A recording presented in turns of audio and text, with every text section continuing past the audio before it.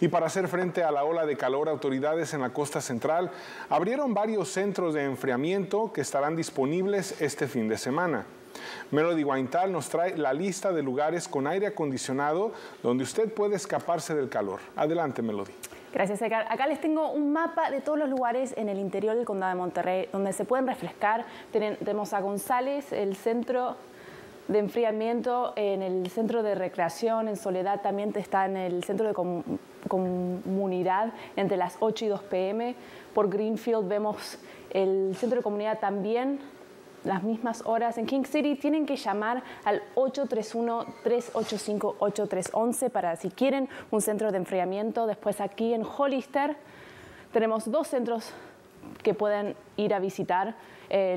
obviamente la biblioteca está abierto el sábado mañana 11 a 6 pm y después tenemos en San Juan Bautista Ahí el mapa no me lee.